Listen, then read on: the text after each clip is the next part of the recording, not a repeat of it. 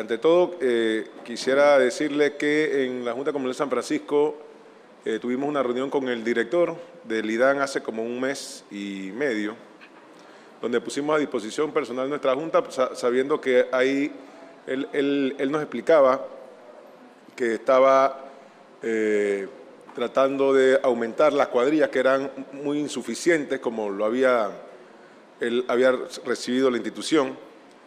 y le dijimos que estábamos a la orden con las cuadrillas nuestras para poder hacer un trabajo en conjunto, que se necesitaban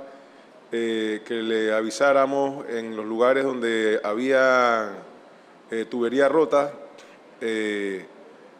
con mucho gusto podíamos hacer un trabajo en equipo para facilitar la acción. Él nos explicó que sí se habían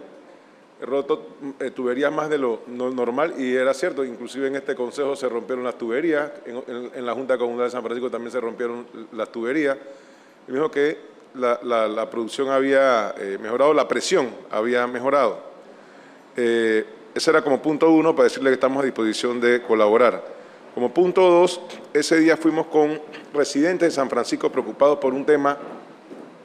que tiene que ver con muchas instituciones, pero también con el IDAN. El tema de las construcciones en San Francisco.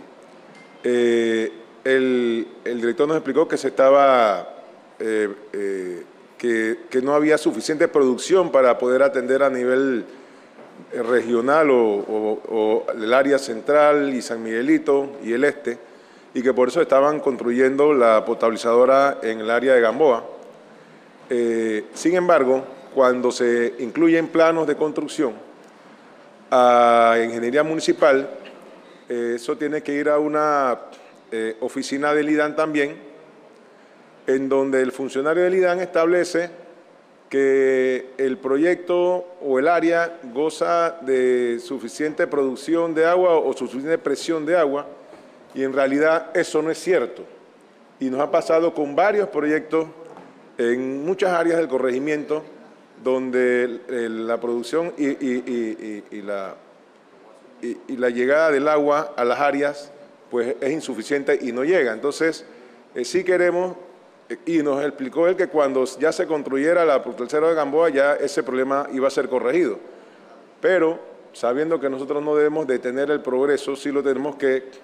ordenar y que esto no afecte a los residentes del área. Yo le pido en, en lo sucesivo que, esos, que hay que hablar con o instruir a esos inspectores que vayan al campo. Es más, en el 2008 ya San Francisco había hecho un estudio de, infraestructura y vialidad, lo hizo la Junta Comunal con, inspector, eh, con, expertos y técnicos en la materia, y ya desde ese tiempo la presión del agua era insuficiente en muchas áreas del corregimiento, como San Sebastián y Paitilla, y las construcciones han seguido, eh, afectando a los vecinos que se quedan sin agua en, las mañanas. Entonces, eh, yo le digo eso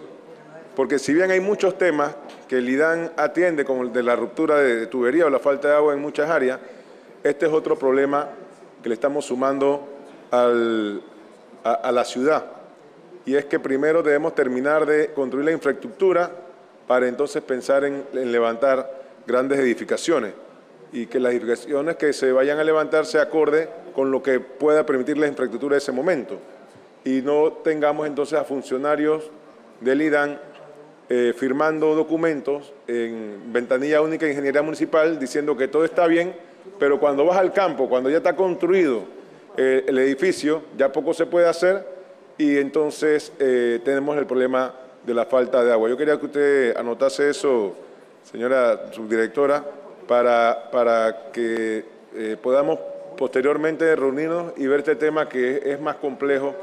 de lo que la gente piensa y, y, es un problema real que viven los residentes del área de San Francisco Centro sobre todo. Gracias, presidente.